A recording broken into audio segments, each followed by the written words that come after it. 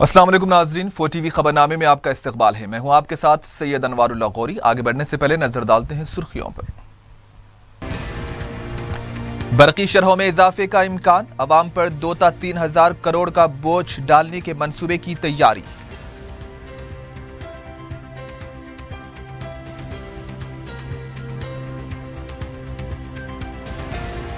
वरंगल में textile park और सिरसल्ला में ऑपरेटिव पार्क का क्याम। खवतान को रेडीमेड गारमेंट्स तैयार करने की तरबियत फ्राहम करने, वज़ीर अला का ऐलान।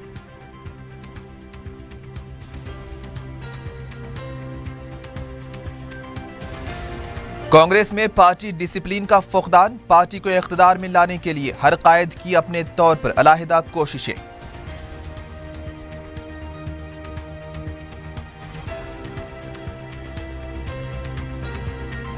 Palamuru Rangareddy lift irrigation project के कामों में रुकावट पैदा की जा रही है। कांग्रेस पर वज़ीर आपाशी का इल्ज़ाम।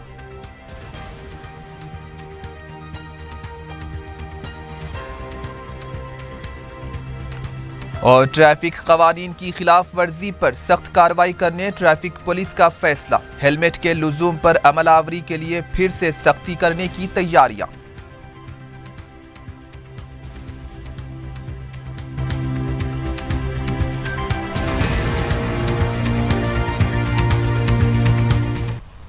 और अब खबरें तफसील से। बरकी शरहों में इजाफे के मसले पर ई आर सी डिस्कैम और हुकूमत के दरमियान रस्साकशी चल रही है। लेकिन ये बात तय है कि आवाम पर बरकी शरहों में इजाफे का बोझ डाला जाने वाला है। इतलात के मुताबिक दो ता तीन हज़ार करोड़ का बोझ आवाम पर डालने का मंसूबा तैयार किया जा रहा है। तेलंगाना ई आर सी ने बरकी डिस्कैम को इंतबाह दिया है कि तेईस फरवरी तक इजाफा बरकी शरहों की तजावीज़ रवाना नहीं की गई तो ई आर एस अपने तौर पर बरकी शरहों में इजाफा करते हुए अहकाम जारी करेगी।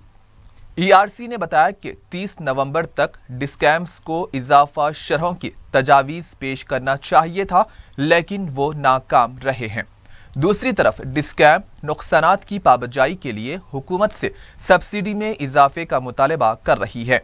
जराए के मुताबिक 9,824 करोड़ के नुकसान की पाबजाई के लिए डिस्कैम ने हुकूमत से मुतालबा किया है कि वो अवाम पर कम से कम बोझ डालते हुए इजाफा सब्सिडी फ्राहम करे। जबकि वज़ीर आला के चंद्रशेखर राव ने पहले ही कहा है कि हुकूमत बरकी सब्सिडी के तौर पर पाँच हज़ार करोड़ रुपये मुख्त करेगी। ऐसे में आवाम पर कितना बोझ डाला जाए इस पर डिस्कैम और हुकूमत के दरमियान रस्साकशी चल रही है। अगर हुकूमत सब्सिडी के मामले में कोई वाज फैसला ले, तभी नई बरकी शरहों में इजाफे की तजावीज़ तैयार की जा सकती है। बहरहाल, ये बात तय है कि अवाम पर बरकी शरहों में इजाफे का बोझ डाला जाने वाला है।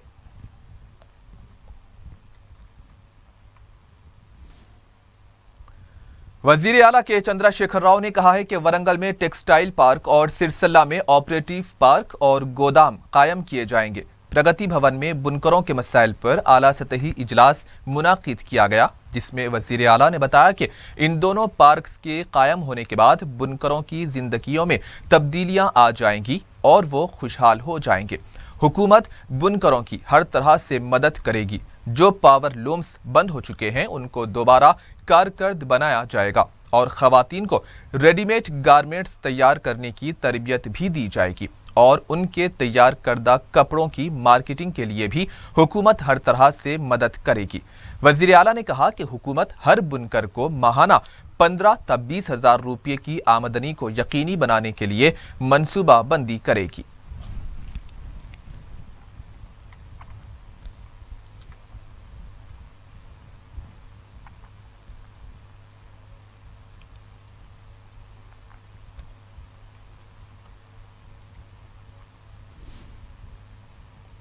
वज़ीर फाइनेंस ई राजेंद्र ने कहा है कि कानूनी तौर पर कमाई गई दौलत का टैक्स अदा करें। उन्होंने कहा कि जीएसटी पर अमल आवरी के बाद टैक्स का तरीक़ेकार वाज हो जाएगा और टैक्स की अदायगी में शफाफियत पैदा होगी। उन्होंने आवाम से कहा कि वो ज़्यादा से ज़्यादा टैक्स अदा करें ताकि ज़ीरो सिस्टम को ख़त्म किया जा सके। ई राजेंद्र ने कहा कि गैर ज़रूरी और इजाफी टैक्सों की वजह से आवाम टैक्स अदा करने के बजाय दूसरे रास्ते इख्तियार करते हैं। इसके लिए प्रैक्टिकल टैक्सेशन तरीक़ेकार पर अमल होना चाहिए, ताकि सरकारी खजाने की आमदनी में भी इजाफा हो सके। उन्होंने कहा कि ज़्यादा दौलत कमाने वाले परेशान ना हो, वो सिर्फ़ टैक्स से बचने के रास्ते तलाश ना करें।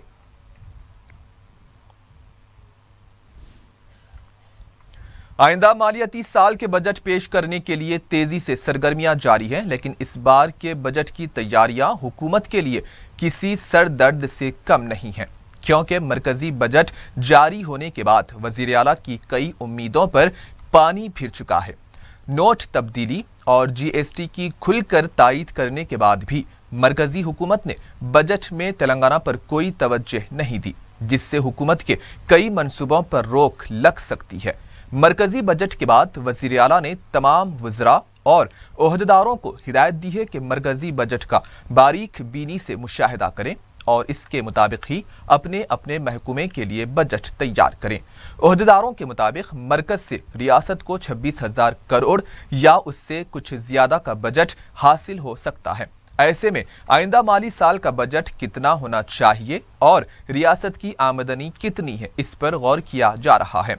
हुकूमत ने जो गुजशत तीन बजट पेश किए हैं, उसके मुताबिक खर्च करने में वो नाकाम रही है। ऐसे में हुकूमत अब रियासत की आमदनी में इजाफे के लिए क्या आवाम पर बोझ डालेगी या फिर कोई नए जराए तलाश करेगी? क्योंकि हुकूमत के सामने मिशन भागीरता, डबल बेडरूम, आपसी प्रोजेक्ट, मिशन काकतिया जैसे प्रोग्राम्स के लिए फंड को मुख्त करना होगा। केसीआर ने जब से इकतदार संभाला है, अब तक एक लाख बीस हज़ार करोड़ रुपए का कर्ज हासिल कर चुके हैं।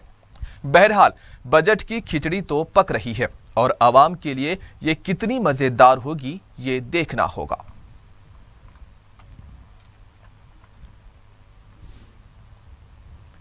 वज़ीर सेहत लक्ष्मा रेड्डी ने कहा है कि सरकारी दवाखाने से रुजू होने वाले हर मरीज़ को मुफ़्त मुआयना, इलाज और अद्वियात फराहम की जाएँगी। साल 2017-18 के बजट की तैयारी के सिलसिले में तलब किए गए इजलास में वज़ीर ने अहदेदारों से कहा कि सरकारी दवाखानों में मरीजों की तादाद में इजाफा हुआ है। गुजशत साल आउट पेशेंट की हैसियत से पाँच करोड़ आठ लाख और इन पेशेंट की हैसियत से बीस लाख अफराद सरकारी दवाखानों से रुजू हुए हैं। इसको देखते हुए आइंदा मालियाती साल में महकमे सेहत को मजीद असरी और दवाखानों में इंफ्रास्ट्रक्चर और दीगर ज़रूरियात को पूरा करने के लिए दरकार बजट की तजवीज़ तैयार करें। आइंदा साल से अम्मावड़ी प्रोग्राम को ज़्यादा तरजीह दी जाएगी। नौमौलूद बच्चों को बेबी किट्स फ्राहम किए जाएँगे। सरकारी दवाखानों में जजगियों को फ़रोग देने के लिए मुख्तलिफ़ तरगीबों की सहूलत। नए अजला में डिस्ट्रिक्ट हॉस्पिटल्स 108 इमरजेंसी एंबुलेंस में इजाफे को भी बजट में शामिल किया जाए।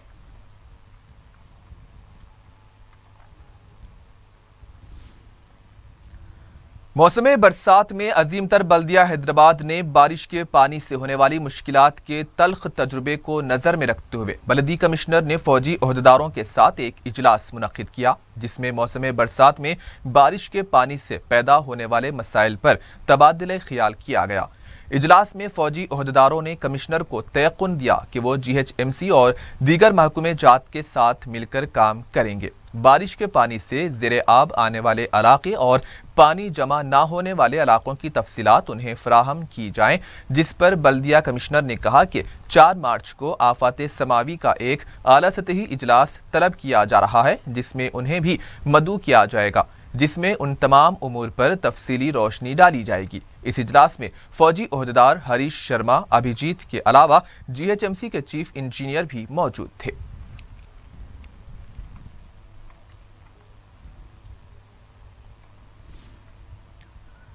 हुकूमत ने हैदराबाद में आइंदा तालीमी साल से चलाए जाने वाले दो नए डिग्री कॉलेजेस के क्याम के दफ्तर को मंजूरी दे दी है। एक college government junior college Falaknuma के अहाते में कायम किया जाएगा और दूसरा गवर्नमेंट जूनियर कॉलेज चंचलगुड़ा के अहाते में। इस मकसद के लिए हुकूमत ने 10 करोड़ रुपये मुख्त किए जाने को मंजूरी दे दी है।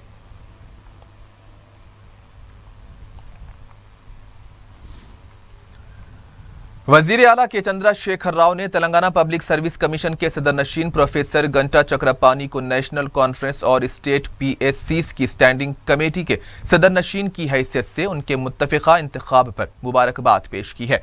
वज़ीर अला ने उम्मीद का इजहार किया कि उनका इंतखब तमाम रियासतों के पी एस सीज में तेलंगाना के पी एस सी को कायदाना मुकाम दिलाने में अहम रोल अदा करेगा।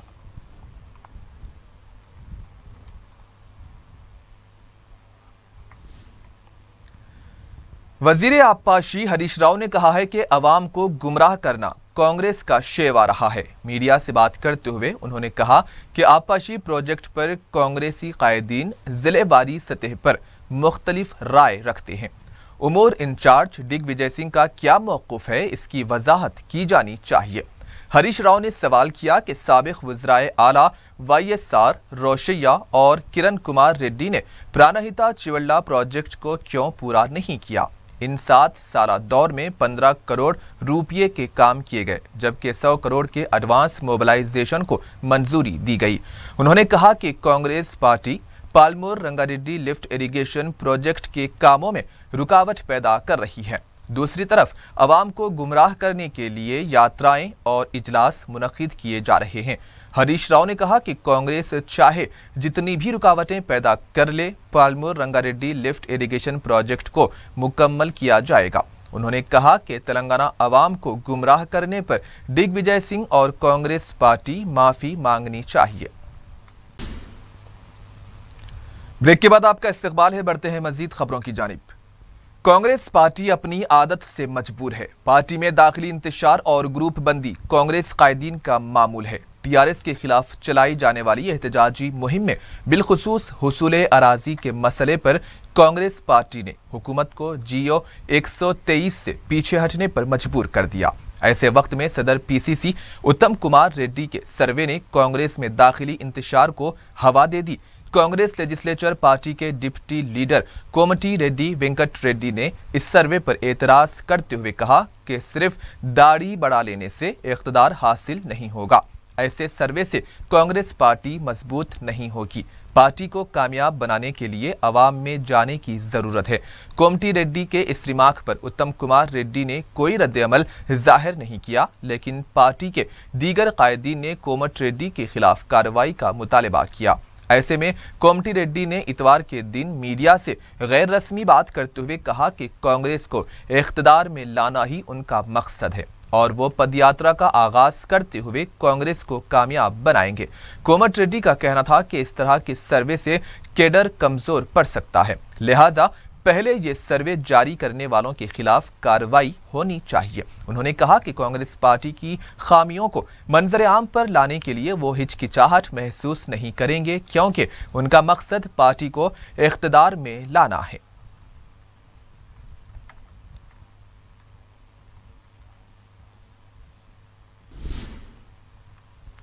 कांग्रेस पार्टी उमूर के इंचार्ज दिग्विजय सिंह ने कहा है कि तेलंगाना पीसीसी में जारी इंतज़ार पर जल्द से जल्द काबू पा लिया जाएगा। मीडिया से बात करते हुए उन्होंने कहा कि कोमट रेड्डी टीआरएस में शामिल नहीं होंगे। वो पार्टी में जारी दाखिली इंतज़ार को खत्म करने के लिए बातचीत भी करेंगे। दिग्विजय सिंह ने कहा कि टीआरएस हुकूमत आवाम से किए गए वादों को भूल चुकी है। जिसके लिए कांग्रेस पार्टी जना आवेदना प्रोग्राम के ज़रिए हुकूमत की नाकामियों को आवाम के सामने लाएगी। दिग्विजय सिंह का कहना है कि कांग्रेस पार्टी गोवा, मणिपुर और पंजाब में कामयाब होगी और उत्तर प्रदेश में भी कांग्रेस इत्तेहाद ही कामयाबी हासिल करेगा। उन्होंने तमिलनाडु की सियासत पर तबसरा करते हुए कहा कि नए चीफ मिनिस्टर का इंतखब खुशी की बात है, लेकिन असेंबली में जो कुछ हुआ, वो इंतहाई अफसोस की बात है।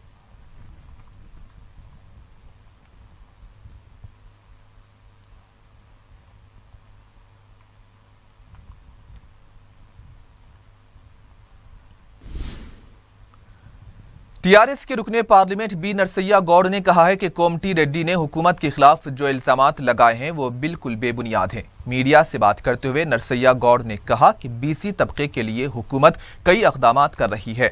कांग्रेस के दौर में बीसी तबके को अक्सर नजरअंदाज कर दिया गया था, जबकि वज़ीर आला के चंद्रशेखर राव ने माही गिरों और चरवाहों के लिए कई प्रोग्राम्स शुरू किए हैं। इसके बावजूद कोमटी रेड्डी के इल्ज़ाम मुनासिब नहीं हैं, उन्हें बीसी तबके से माफ़ी मांगनी चाहिए।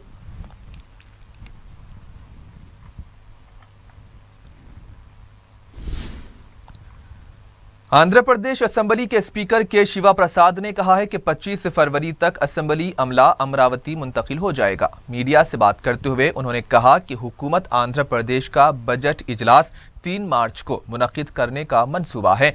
उन्होंने कहा कि अमले की मुंतकली के साथ साथ अमरावती में ज़रूरी सहूलतें फ्राहम करने के लिए इकदाम किए जा रहे हैं। शिवा प्रसाद ने बताया कि हैदराबाद में अब तक चार असम्बली इजलास मुनद किए गए। आइंदा से असम्बली की तमाम सरगर्मियाँ अमरावती में ही होंगी। इससे पहले के शिवा प्रसाद ने मीडिया के नुमाइंदों के साथ भी इजलास मुनद किया।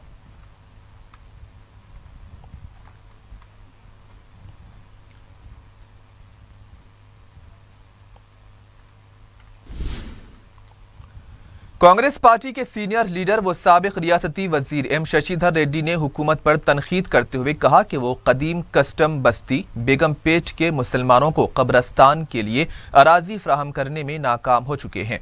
शशिधर रेड्डी सनतनगर डिवीज़न में नेहरू पार्क कम्युनिटी हॉल का दौरा कर रहे थे। उन्होंने नेहरू पार्क के कम्युनिटी हॉल की खस्ता हालत को देखकर रियासती वज़ीर श्रीनिवास यादव और मुकामी रुकने बल्दिया लक्ष्मी बाल रेड्डी पर तनखीद करते हुए कहा कि वो अपने हलके और डिवीज़न में तरक्याती काम करने में नाकाम हो चुके हैं। उन्होंने कहा कि सनतनगर डिवीज़न में गुजशत तीन सालों से आलूदा पानी सरबराह किया जा रहा है, जिससे आवाम को मुश्किल का सामना करना पड़ रहा है।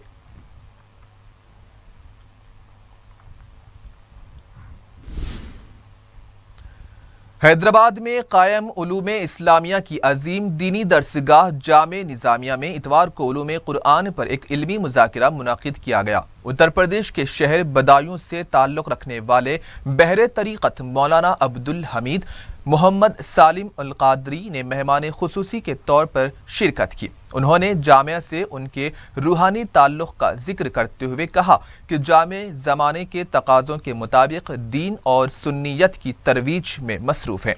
मौलाना आज़ाद नेशनल उर्दू यूनिवर्सिटी के vice chancellor doctor Mohammad Aslam Parvez ने पावर पॉइंट प्रेजेंटेशन के ज़रिए कुरान और साइंस के मौजू पर कलीदी मकाला पेश किया।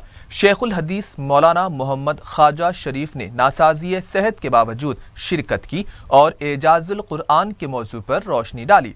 मौलाना डॉक्टर बदियुद्दीन साबरी, प्रोफेसर जाम उस्मानिया और मौलाना हाफिज सैयद जियाउद्दीन नक्शबंदी ने भी मकाले पेश किए। मौलाना सैयद शाह अकबर निज़ामुद्दीन हुसैनी, अमीर जामिया ने निगरानी की और मौलाना मुफ्ती खलील अहमद, शेखुल जामिया निज़ामिया ने सदारत की। जामिया के शयूख इस मशाइ तलबा और कदीम तलबा की बड़ी तादाद ने मुजाकरे में शिरकत की।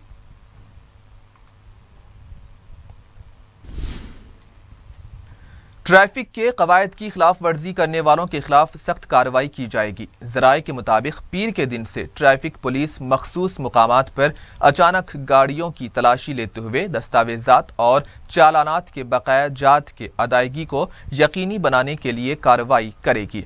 पुराने चालानात के बकाया जात की अदायगी न करने पर गाड़ियों को भी जब्त किया जाएगा।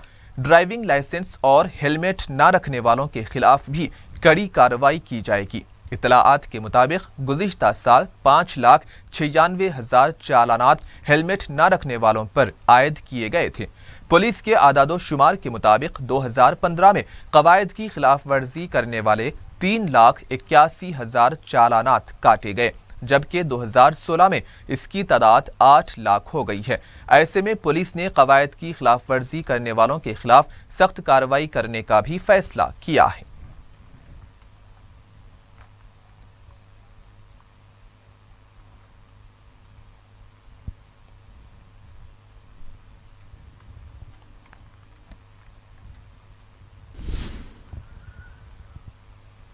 हबीबनगर पुलिस हदूद के इलाके नामपल्ली में मामूली सी बात पर एक शख्स को चाकुओं से हमला करके शदीद जख्मी कर दिया गया।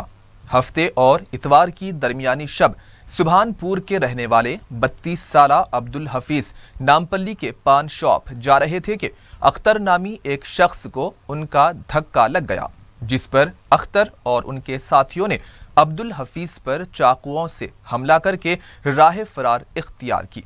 हबीबनगर पुलिस ने एक केस दर्ज करके अब्दुल हफीज को इलाज के लिए गांधी अस्पताल मुंतकिल करते हुए अख्तर और उसके साथियों की तलाश शुरू कर दी है। पुलिस की जानब से वक्फे वक्फे से तलाशी मुहिम के अलावा रात देर गए आवारा गर्दी करने वालों के खिलाफ कार्रवाई की जा रही है।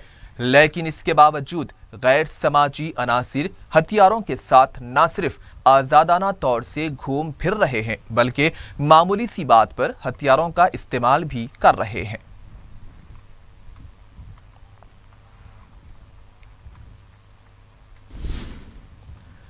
कदीम बोयनपल्ली में वाक़ एक इलेक्ट्रॉनिक आइटम्स के गोदाम में आग लगने से करीब 30 लाख रुपए मालियती इलेक्ट्रॉनिक की अशिया और दूसरा साजो सामान जलकर तबाह हो गया। इतवार की सपहर करीब साढ़े तीन बजे पदमा एजेंसी के गोदाम में अचानक आग लग गई। आग के शोलों ने थोड़ी ही देर में पूरे गोदाम को अपनी लपेट में ले लिया। शहर के दो फायर ब्रिगेड्स ने कोशिश करके आग बुझा दी। आग लगने की वजह शॉर्ट सर्किट बताई जा रही है। बोयनपल्ली पुलिस ने केस दर्ज करके तहकीकात शुरू कर दी है।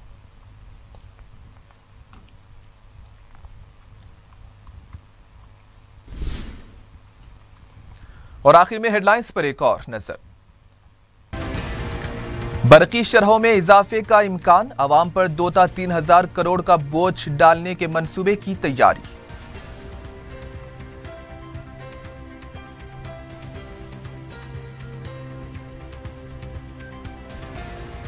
वरंगल में टेक्सटाइल पार्क और सिरसल्ला में ऑपरेटिव पार्क का कयाम। खवतान को रेडीमेड गारमेंट्स तैयार करने की तरबियत फ्राहम करने वज़ीर आला का ऐलान।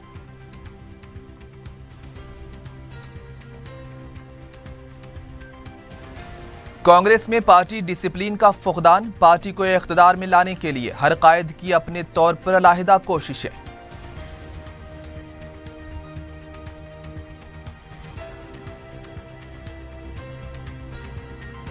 Palamuru Rangareddy lift irrigation project के कामों में रुकावट पैदा की जा रही है। कांग्रेस पर वज़ीर आपाशी का इल्ज़ाम।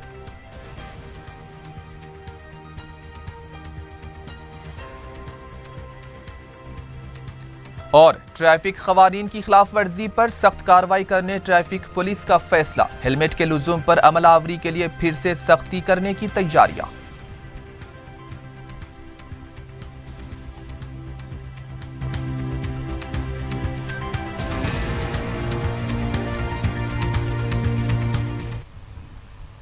और इसी के साथ ही फोटीवी खबरनामा यहीं पर इख्ताम पजीर होता है। सैयद अनवारुल्ला गौरी को दीजिए इजाज़त। अल्लाह हाफिज़।